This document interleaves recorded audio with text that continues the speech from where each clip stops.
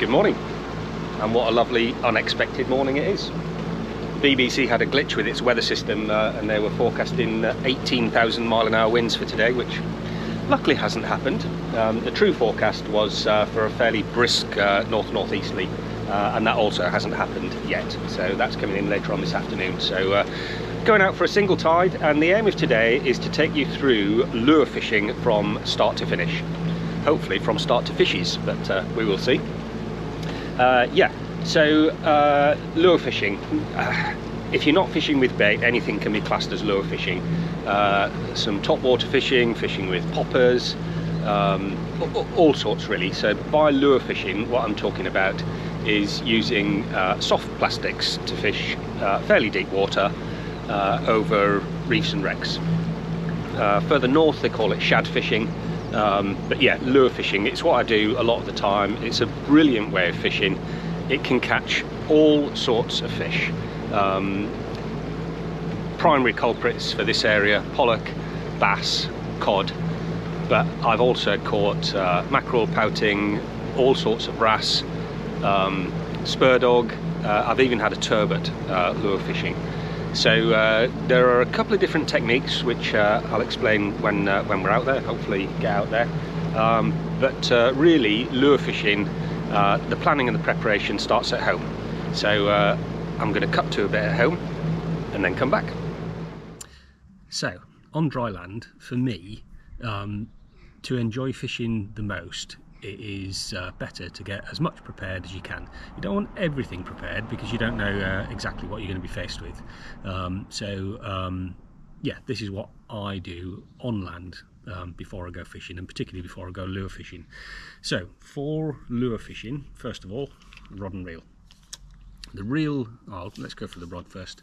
Um, this is um, Shakespeare Ugly Stik. They are not expensive at all, but they are great little rods.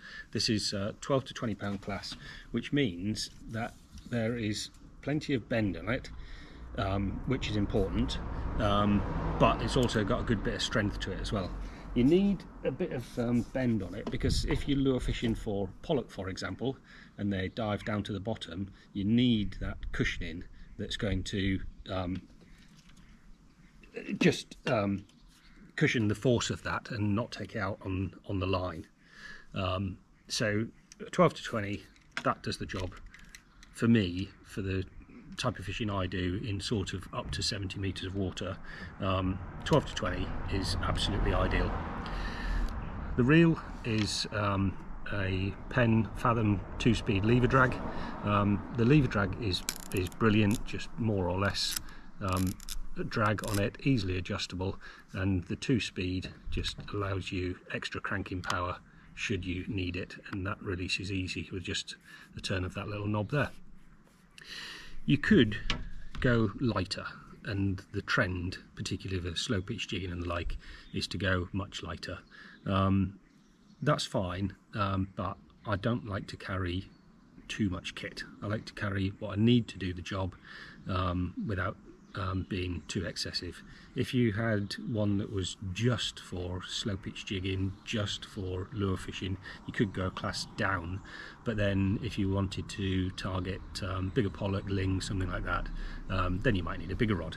Um, but for me, the 12 to 20 does it all. And this reel, um, this is the 15 size, again is, is a perfect size. It's nice and light, it holds enough line, um, and yeah, just does the job very well. I've had this years. I tend to have my kit until it breaks down and then get another one. So um, this model is now superseded by a nice grey one, um, or um, steel one rather. Um, but they're brilliant reels for their money. You can spend a fortune on reels, um, and no doubt the ones um, that you do spend, you know, five hundred thousand pounds on are lovely, but this does the job at um, a sensible price for me. The line, particularly for lure fishing, you want a nice thin line. Um, the thickness of the line um, determines the drag in the water, which determines the angle that the tide's going to take it away from from you. So um, a nice thin line is important. Um, Berkley Whiplash do a nice thin line. Um, this is 40 pounds and a really thin diameter for that. And on the end of that I have a snap-on swivel. All of my swivels are Coxon roll, nice and strong and last forever.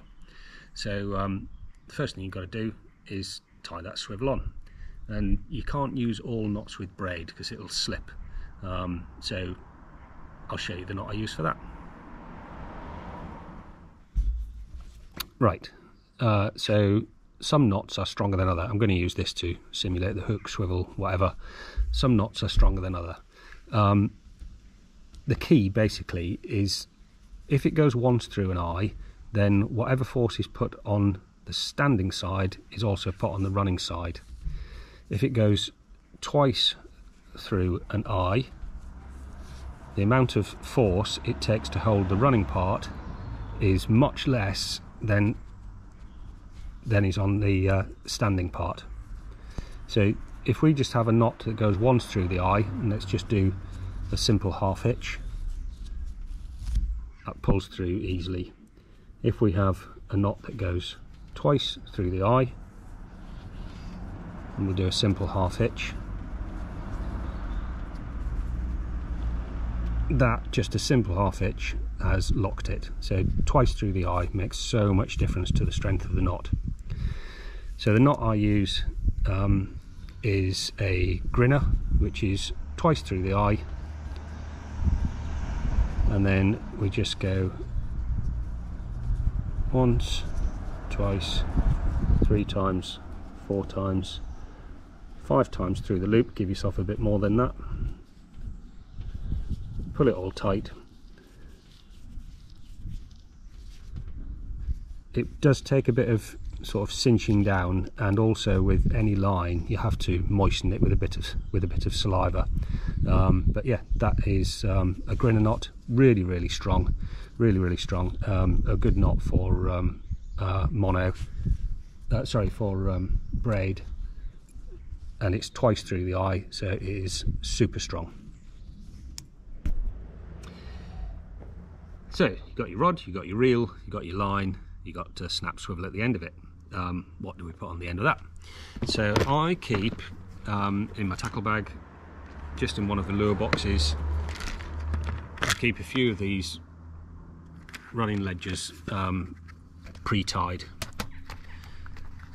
I'll show you how to tie them in a minute but um, I keep them secured in there with a little bit of Blu Tack so they don't spring out and go everywhere. So the running ledger is uh, is brilliant and that has a swivel at one end, a bead, the boom, another bead and another swivel. So that end goes onto your snap swivel. On the bottom of the boom you put a lead on it. I prefer the cannonball leads because if they drop into a bit of a rock or if you're wreck fishing into a bit of a wreck there's more chance that it's going to pull out the place that I buy them from they do 6 ounce and 10 ounce in cannonball but if you want an 8 ounce it's got to be that shape so you will see me using those as well because 8 ounce 6 and 8 ounces are the best sort of weights for um, generally the tides that I fish. Um, and um, yeah, eight is only available in uh, in that size. So there it is with the lead on it, and that's free to slide. These are uh, brilliant because um, what happens is, if you imagine it the lead sat on the seabed and you've got your hook line this side, you've got direct contact with any fish pulling um, at the line without having to move the lead. If you are if you're lure fishing and it's higher up in the water, you've still got the same thing where this fish isn't doesn't is not physically having to pull the whole lot along. You've got direct contact with whatever's on the hook length. And because braid is so sensitive you can feel exactly what's going on. So that's why I use the running ledger and you can use that for all sorts of things. You can tie um, a hook length onto there for plaice fishing for standard bait fishing. Um, sometimes I'll just cut that swivel off and put a 200 pound trace on if you're fishing for ling or something toothy like that. So, um, tying that, um, I use, I, I generally use amnesia which is low memory, meaning that if you put a coil in it, the coil soon drops out um, because it stays in my tackle box all coiled up. Sorry, I'm by the road. Um, because it stays in the tackle box all coiled up with a bit of Blu Tack to keep them tidy. Um, I don't want those coils to stay for long. It doesn't really matter because there's quite a bit of weight going on there. Um, it goes down like that. Um, so it straightens that bit of line. So it really it doesn't matter what sort of line you put on there. Um, but my main line the braid is 40 pounds. I tend to use um, uh, 35 pound for uh, this bit of the running ledger. Um, and I'll show you how to tie it. So here's one that I've nearly prepared. So tie the swivel on. I'll come on to that in a minute with a bead poke the line through the boom another bead and then tie the swivel on the other end. And it's a really simple knot which you're not going to be able to see with that. So back to this. The knot's called a palomar and it really is very simple. Give yourself enough enough line loop it that goes through the eye and you can use this for hooks as well as swivels tie an overhand knot. The end goes through the other end of the swivel, just around the swivel. Pull it all tight. Again, with, uh, with the line you're going to need a bit of moisture on there. That has got two bits of line then along the hook so it gives, makes it nice and strong. Trim that end and you've got a really easy to tie, simple, very strong knot.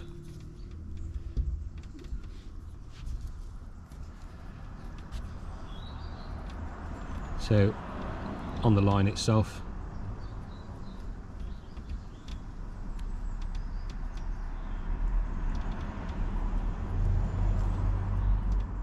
put a loop through, simple overhand knot.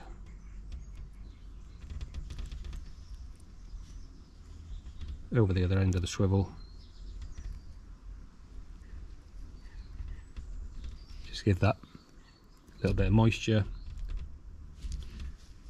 Pull it down nice and tight. Trim the loose end. And there you go. Little running ledger tied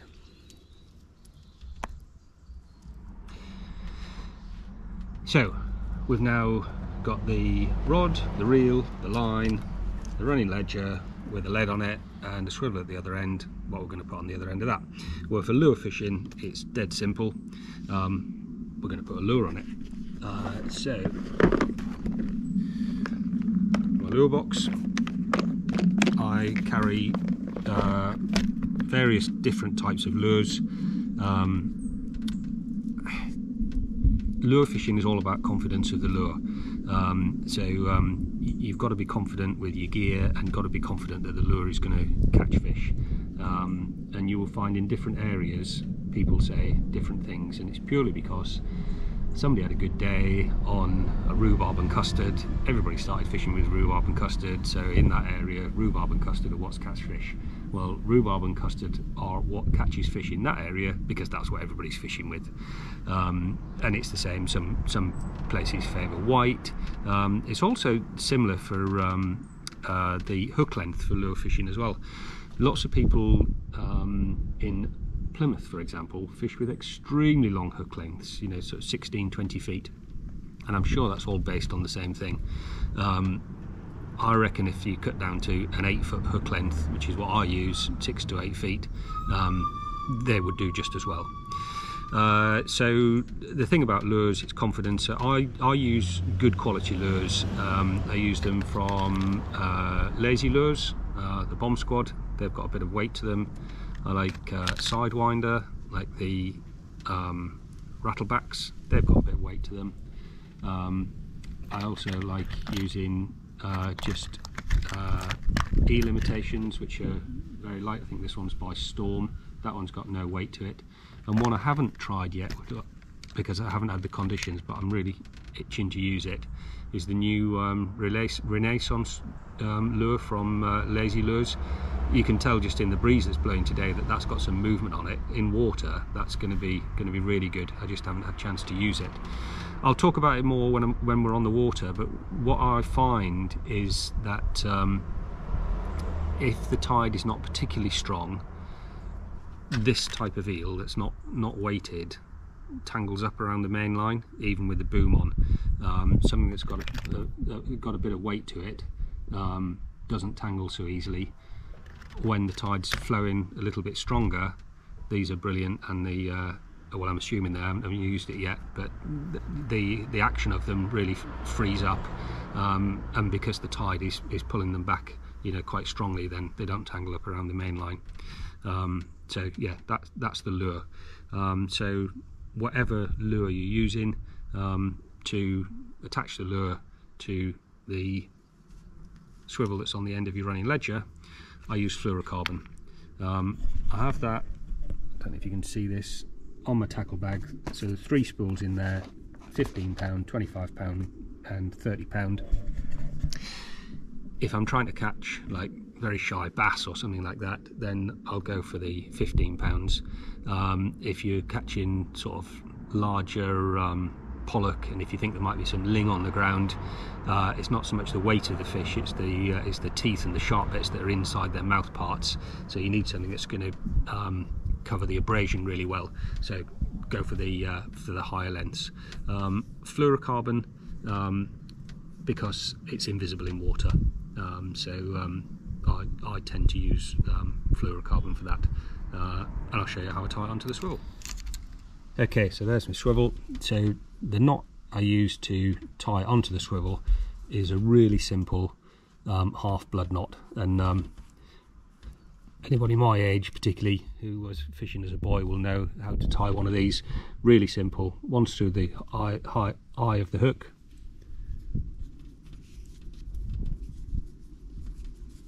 Five or six times around there, through the eye, or tucked half blood knot I suppose, and then back through that loop and tighten it all up, which this paracord won't tighten up very well, but that, that's how that's how you tie it.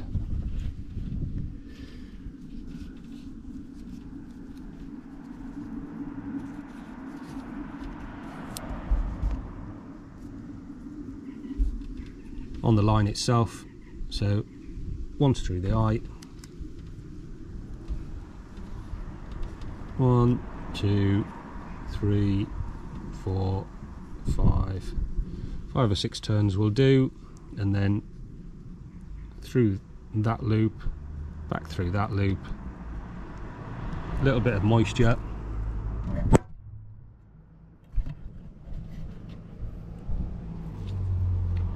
Drop the camera. cinch it all down, pull it nice and tight and trim the end. I'll tell you why in a minute that uh, I just do the blood loop for uh, or the blood knot for that side. And then the other end, six to eight feet, we're going to put the lure on there. So the knot I'm going to use for that is a Palomar knot. So we tie an overhand knot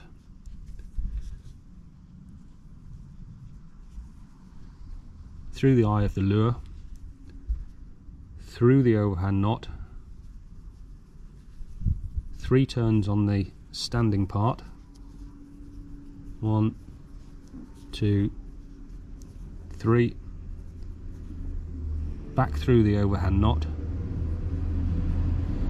and then pull all of that tight.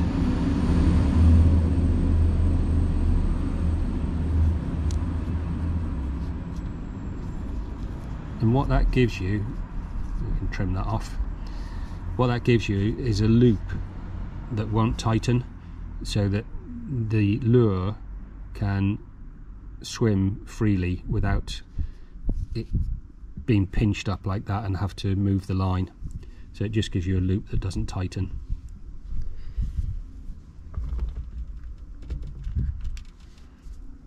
Let's just do that on the uh, on the lure so just an overhand knot.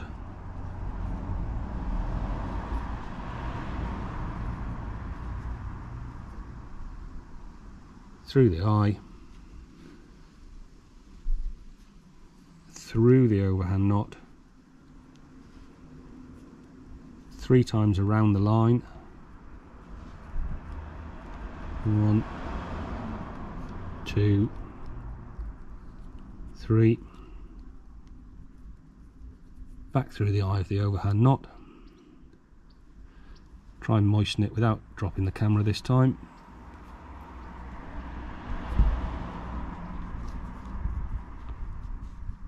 Cinch it down nice and tightly. Snip the free end. And there's your loop allowing the lure to just work freely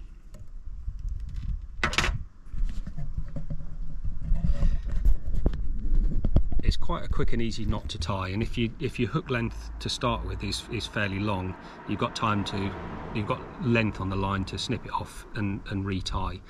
Um, I've never tried a clip. Um, the point behind using fluorocarbon is um, it's invisible in water and the point behind using uh, the Rapala knot is so that the lure has freedom of movement.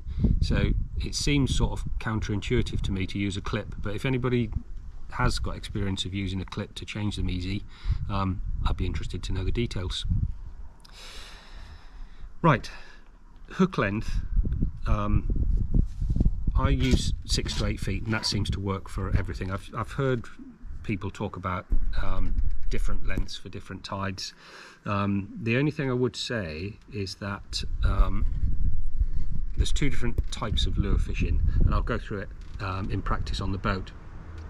If you're hopping it across the bottom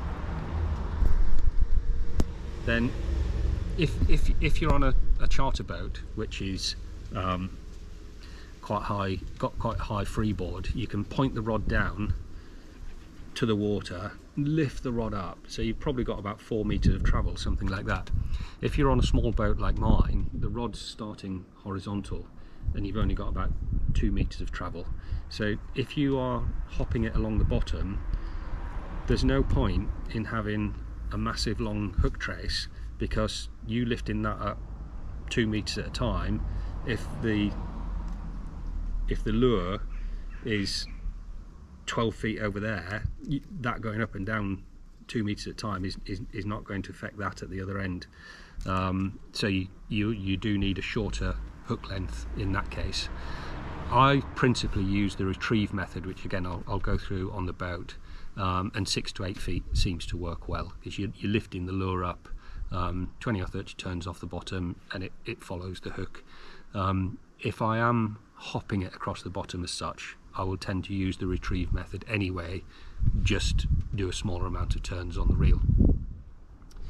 Um, so there we are, we are ready to go. Let's put that into practice and get back on the boat. Still heading down the river, so that that is the uh, the tackle and the rig. I have also got um, so the, the lure rod is set up. I've also got uh, some mackerel feathers set up, and I've got uh, my uh, spinning rod with a lure on it, just in case uh, I see anything on the surface. So, ideal conditions. A light southwesterly. We've got a northeasterly. Uh, a step tide building up to spring tide. We are bang on neaps it's not quite the worst conditions. They were a couple of days ago when we were heading towards neaps so the tides are getting smaller. So the tides from today are getting bigger. So it's bang on neaps however as I've said many times before if I'm free and the weather's decent, I'm going to go regardless of the conditions. If I don't catch fish, I don't catch fish. That's uh, that's one of those things.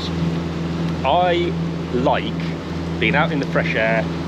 I like being on a boat and uh, sort of fishing. Uh, yeah, I do like fishing, obviously, um, but uh, it, it sort of justifies being out in the open air and on a boat. So if I can get out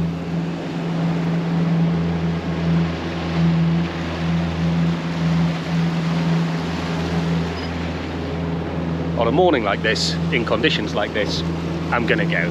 I'm not a commercial fisherman, they're all tucked up in bed at home because um, it's not ideal fishing conditions and they don't want to waste fuel. I want to enjoy my day and I intend to do that whether uh, I catch fish or not. So I've got a cup of tea on the go, I've had a bacon roll. We are heading out.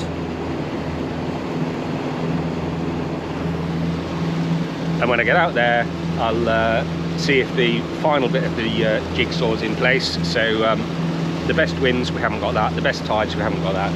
Uh, and clarity in the water is uh, is also perfect. So um, uh, that, that's what we need. It should be nice and clear this time of year. It's not the time of year where you're going to get plankton uh, blooms and, uh, and that sort of thing. So uh, it should be nice and clear. But lure fishing is primarily um, a sight thing. Um, obviously fish have other senses as well, lateral line, etc. Um, but um, if they can see something that they want to eat, then you, you, stand a better chance of, of being successful when you're lure fishing. So let's get out there and see.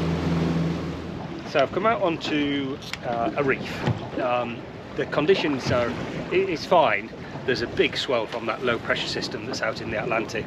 Um, and the, the northeasterly is blowing up a bit of a chop, so it's a, it's, a, it's a little bit snotty. If I was going onto a wreck this time of year, I'd want to go further out.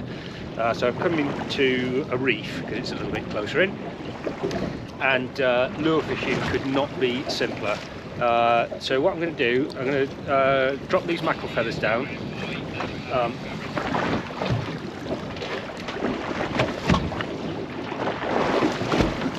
Doing that for several reasons. One, I love to catch mackerel, I love to catch them, I love to eat them, they're fantastic for bait.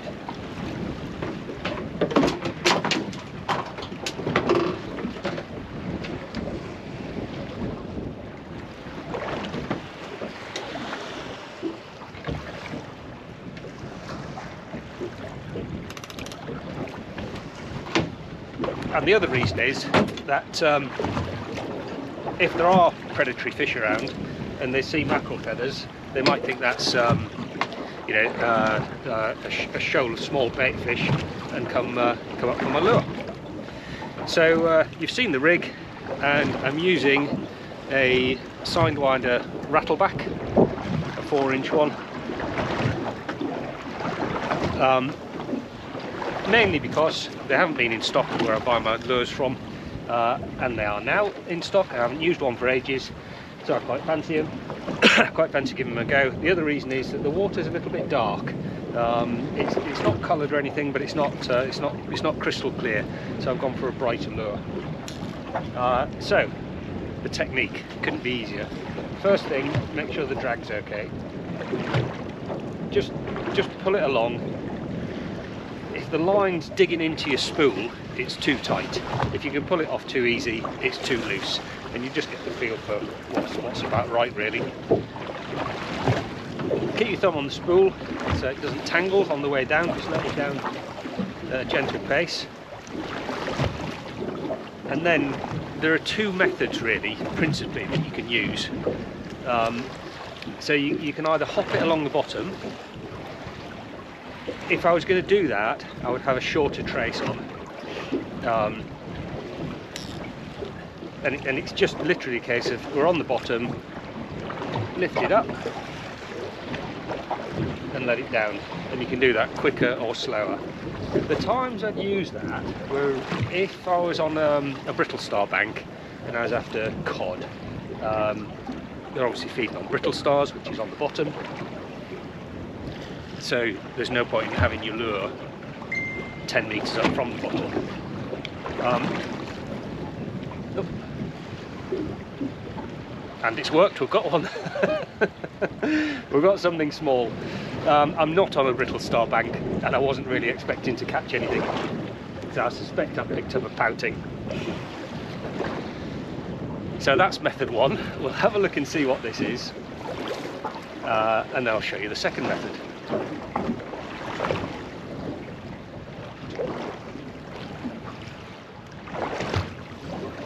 There's no need with any fishing to wind up frantically. If you've got a bend in the rod, that fish is not going to come off. Unlikely to come off. The only time you have to wind fast is if you've got something on that's swimming upwards and it um, and it takes the bend out of the rod.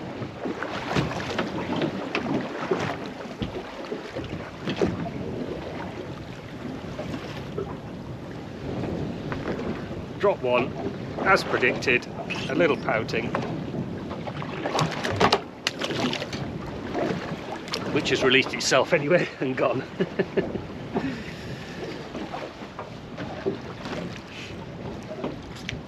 there we are. So that was really just demonstrating the method that I'm not using today. Um, I'm not on brittle star bank, I'm not particularly expecting cod. There might be the odd one swimming past, but if they're not on brittle stars, they're feeding on sand eels and stuff like that, so they're not necessarily um, hard on the bottom. So I'm hoping for a bass out here. Um, there might be pollock around as well. So the se second method, that's on the bottom, is just the retrieve method. And that is simply just winding up gently That was a bite then, I don't know if you saw it. So the trick then is just to continue winding. That was a, a pouting bait on near the bottom. And then it depends on the depth of water. I'm in 40 metres of water here. So I'm just going to wind it up 20 turns or so. Back down to the bottom. And it's just a case of um, 0.8 of a knot adrift here. Just a case of uh, varying the retrieve speed, varying the number of turns, and hopefully seeing where the fish are.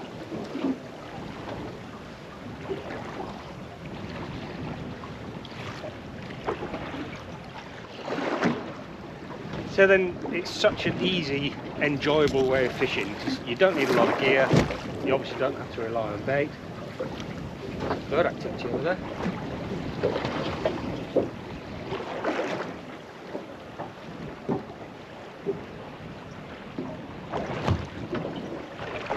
Just need a few different types of lures which you may want to change uh, along along the way. That rattleback is obviously working for about um, one fish, one bite.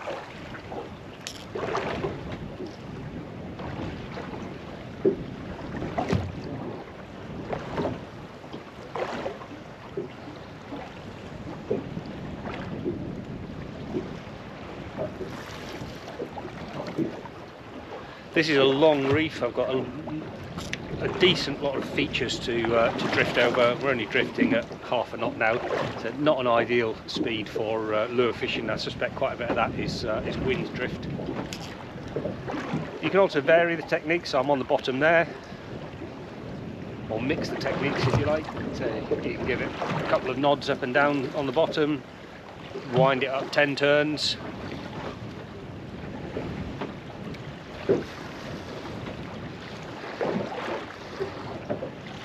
try it again.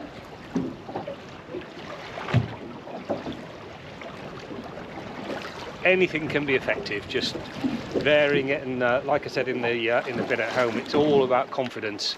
I prefer just dropping and retrieving. I think that uh, simulates more just uh, the natural movement of fish. If you're uh, if you're jigging up and down, you um, sort of imitating a fish in trouble then, which can attract fish, but you're more onto sort of slow pitch jigging rather than lure fishing.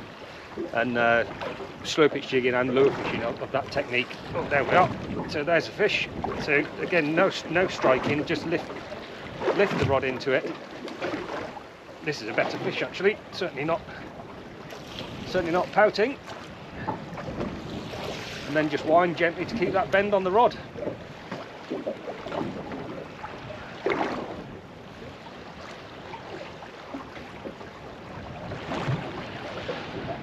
Well, despite the conditions, the east wind and the tide, the lure is doing its job. Such a good way of fishing.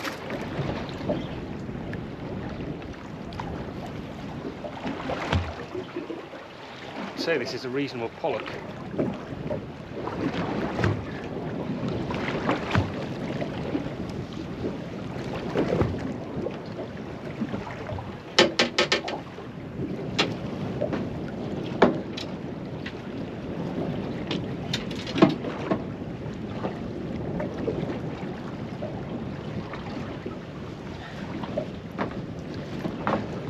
It is. A nice reef pollock. Just hooked in the top of the lip with that sidewinder.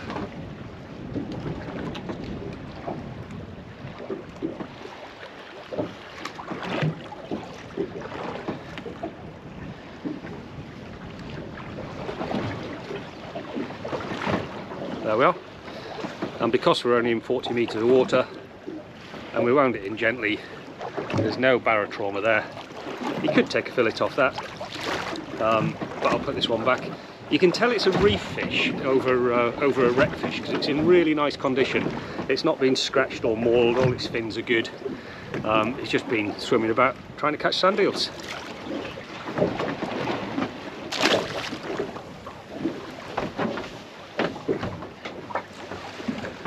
There we are.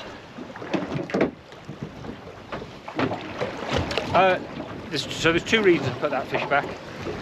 One because I could, um, but the other is um, from the these inshore reefs, the smaller fish. I don't think they taste that brilliant. Um, out on the wreck, if you can get something six, seven pounds, that sort of size. Then yes, fine. The um, they've got a bit of flavour to them. So if I catch one of that sort of size, I will take it home.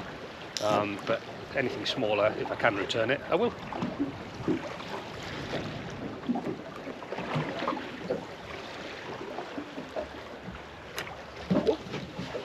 There goes the mackerel.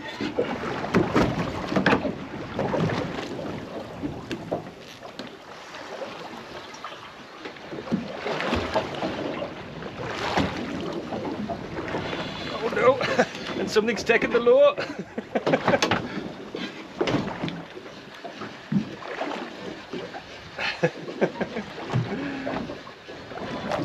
it's chaos, but I like it.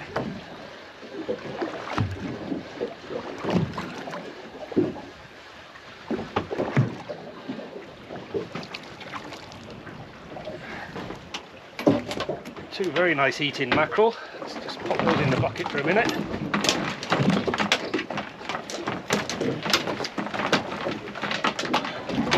Right, let's see what we've got here.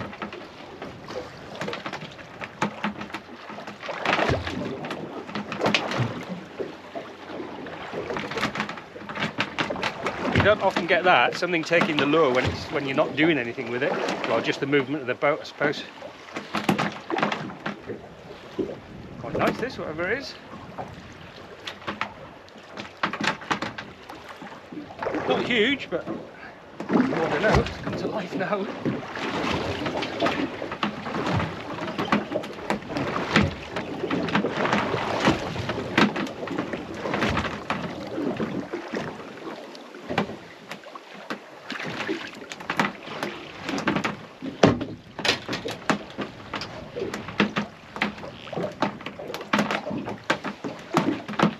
Yeah, and another just very nice, just lip hooked pollock.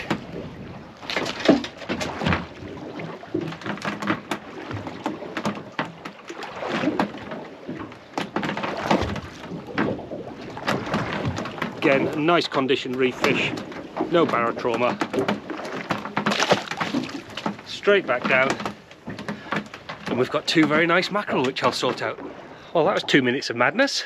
Two nice mackerel and another pollock return. Let's get the lure back down.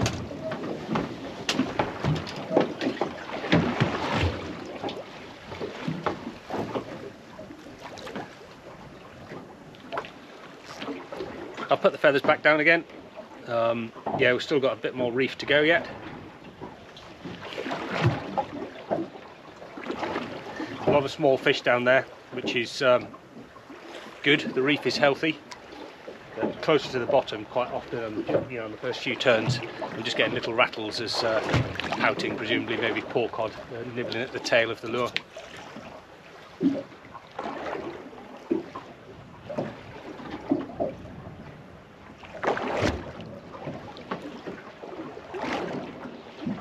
Something's having a little go on the way down there. Braid is amazing, you can just feel everything that's going on. Especially with that uh, running ledger as I tried to explain, there it is. Yeah, with that running ledger, so the fish isn't having to, you're not having to uh, feel the fish's weight. That's come off. That's something small. You're not having to fish, feel the fish's weight through the lead. You've just got direct contact with the uh, with the lure.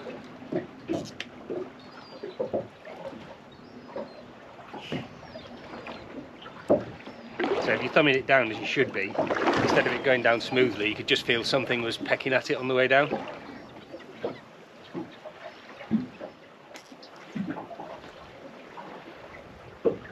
I didn't know till I woke up this morning whether I was coming out today. The weather forecast has been so up and down. Um, I look at several things as I've, I've mentioned before. Uh, I look at the BBC, although they've had their glitch. Um, so I did download XC weather to see what they were they were looking at. I look at the actual weather from the uh, Coastwatch station at Prawle, uh, the synoptic chart to give me an idea, and the um, inshore waters and the shipping forecast. And it was between force 2 and force 5. So force 2 is dreamy, probably about what we've got. Force 5, not nice at all.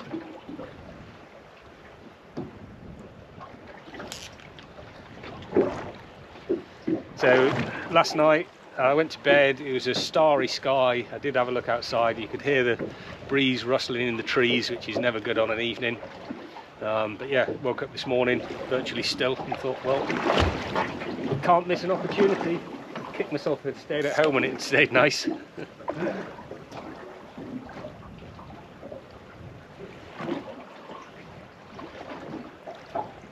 and as a bonus, for a, a northeast wind day with slack tides, we've already caught some fish and I've got a couple of mackerel to take home.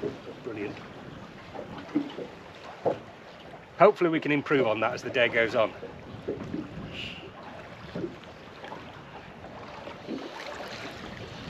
More activity on the mackerel feathers, but this feels heavy. Hopefully it's a string.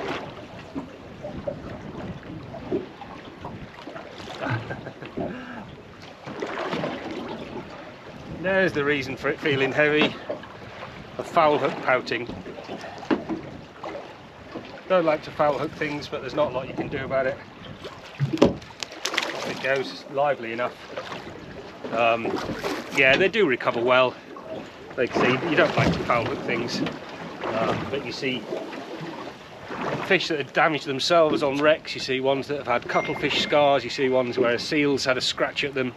Um, yeah, and they, they all seem to be fine, so one little hook wound, well, you wouldn't choose it, I don't think it does them too much harm and that one's gone back very healthy. Those uh, sidewinder rattlebacks that I've got on at the moment, as with the uh, Lazy Lures Bomb Squad, they've got a bit of weight to them. And I find in these slacker conditions, they're better for keeping tangle free, um, particularly if you like, like I did then, just left the rod for a minute. Um, while, uh, while I looked at the mackerel feathers. Something like the um, Joey sand eels, which I like, but they're not, they've got very little weight to them. And these slacker tides, they tend to uh, wrap up around the main line a little bit. Um, so I find them better on the stronger tides. When the tides are slack like this, something with a bit of weight on hopefully stays untangled. Doesn't tangle quite so readily. You can normally feel that again with the braid. Um,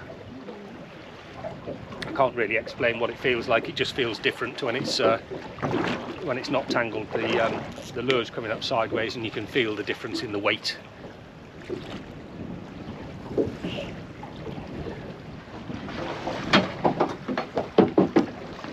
First of the year, if I can get it.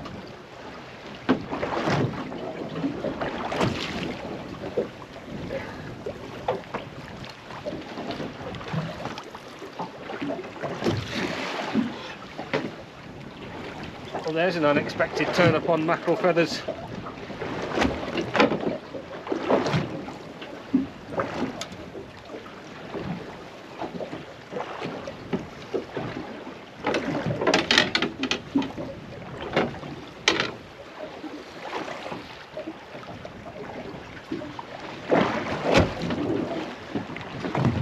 Nice sized squid.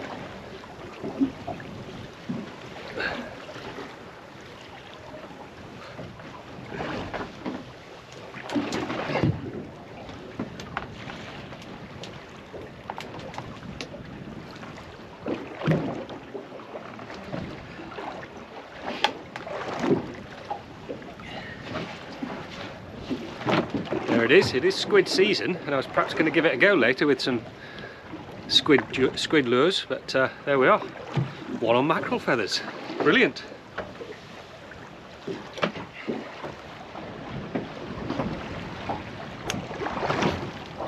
You don't often get the ratchet going off on the feathers.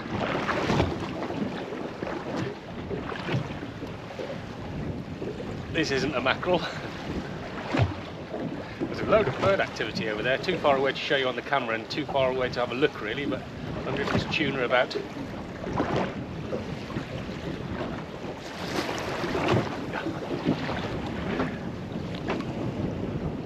That's why it felt heavy. Big old scad that's also knotted itself up. Just change position on the reef slightly.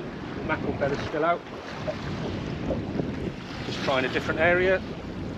Um, that that first area was good, but the tide's not uh, not picking up at all, um, and it's just lots of small pout. Um, pollock, fine.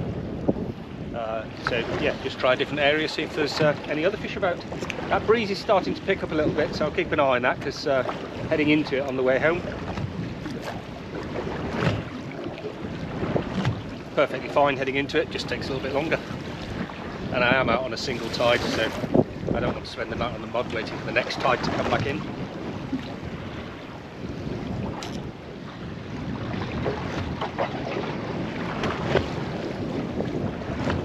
Well, I've had a reasonably long drift on this new area of reef with, um, I'm saying that, I was going to say with no luck at all.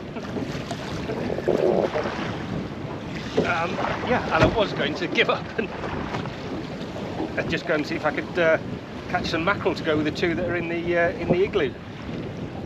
And then something's taken it. There you go. You never know with fishing.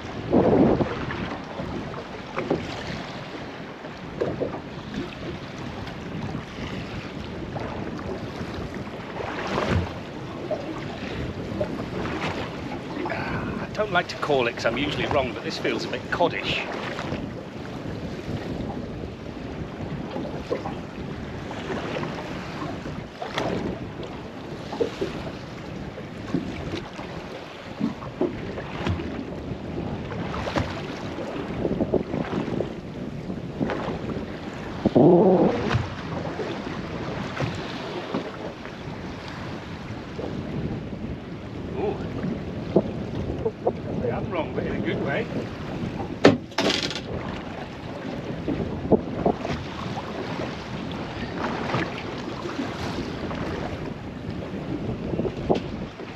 Look at that for a beauty of a John Dory.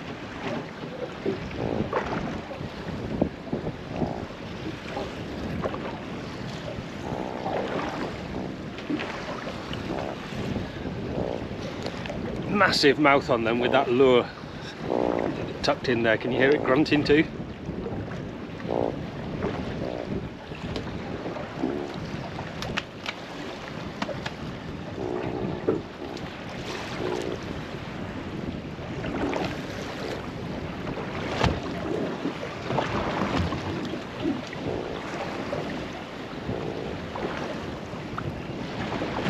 Give me a minute, I need my pliers for that, it's quite deep down.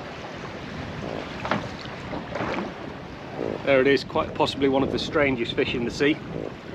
But amazing eating. That one's coming home. Right, despite catching that really nice fish here, I think I am going to uh, um, just head to a rougher bit of the reef with the mackerel feathers and see if I can get uh, yeah, a couple more to make a mackerel meal out of it. See you there. Right, give this a try pick up another few mackerel quickly before this wind gets up. Hopefully.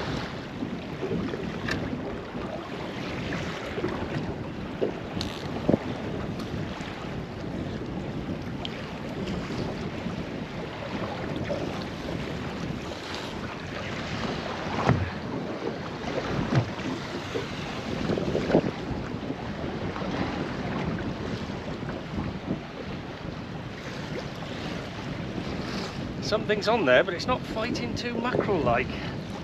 However, I was wrong with the John Dory. I'm wrong with this.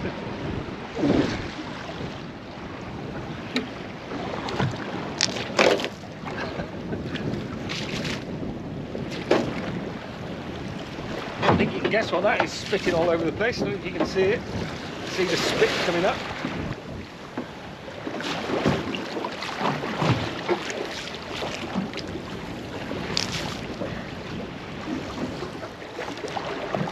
Squid.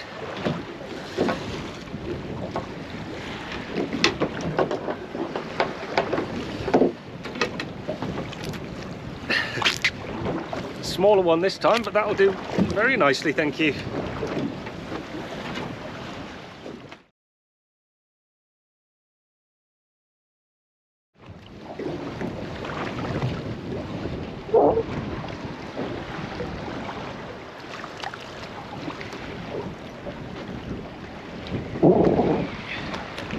Very nice eating size.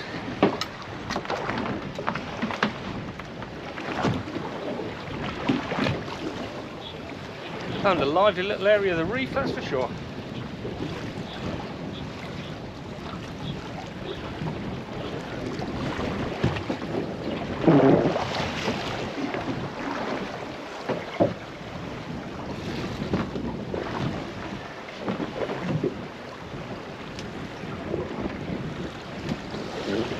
Just to top off the species list, really colourful male cuckoo wrasse.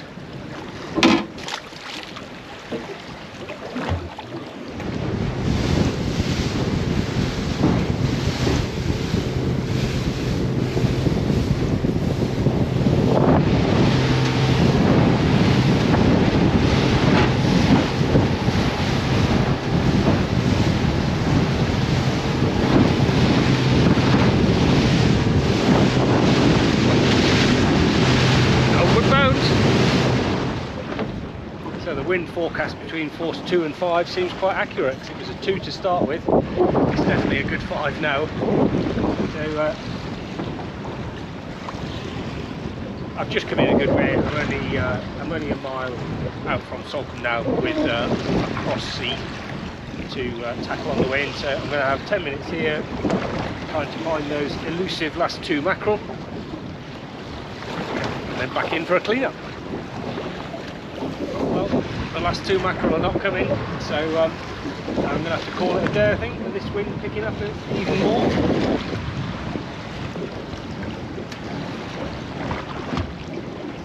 So, uh, yeah, I'll head back in and I'll uh, have a word with you in the shelter of the harbour, a bit less wind, hopefully. See you. Well, there we are in the uh, relative shelter of the harbour for a, a clean up and a washdown. Uh, so that's lure fishing. It's a lovely way of fishing. It's simple. You don't need much stuff. If you're fishing on a reef like today, um, you don't lose much stuff. I didn't lose any gear today. Wreck fishing slightly different, but it's not the same as bait fishing where you're inevitably going to lose lose stuff. Um, yeah, you rarely lose stuff when you're lure fishing on a wreck at all, and, and certainly uh, nothing on a reef. On the reef as well, it's easy. I think I'd had five drifts today. Then I was fishing for about three hours, something like that. Uh, so yeah, um, uh, I appreciate there are expert fishermen out there, and certainly fishermen that are better than me, and some people that watch that are commercial or ex-commercial uh, that are uh, that, that are better than me. It's not really meant as a tutorial, just showing you how I do it. And I know there's a lot of people that watch that are just getting getting into boating and getting into fishing. So uh, hope you can pick something up from that um, for uh, for uh, for the way I do it. Um, not the best wind, in fact, probably the worst wind, uh, and pretty much the worst tide for it. So I'm really pleased with, uh, with with the day actually. Um, so for the lure fishing, uh, pout, pollock, which I could have could have kept, but like I said, they're not the tastiest. Those uh, sort of uh, inshore smaller fish, but they were big enough to take a fillet off. However, they all returned nicely. One small pout um, I've kept for bait. Um, uh, and the John Dory. Uh, that, that makes lovely eating. That's a really good sized fish, so that's brilliant. Uh, and then a couple of surprise squid on the uh, on the mackerel feathers, a scad for bait. Um, and a couple of uh, mackerel as well, three mackerel to take home. So um, I might even try the scad actually. Um, I've got it straight on ice, so uh, I've had several comments that they're that they're good to eat um, albeit probably a little bit bony but um, yeah I might, I might, give that a try as I didn't catch very many mackerel. Um, so yeah nice mixed bag of fish. Oh that really uh, colourful cuckoo wrasse as well. Um, so uh, nice mixed bag of fish uh, given the conditions. And uh, yeah hope you enjoyed uh, the little experience of lure fishing and I'll see you next time. Thanks for watching. Cheers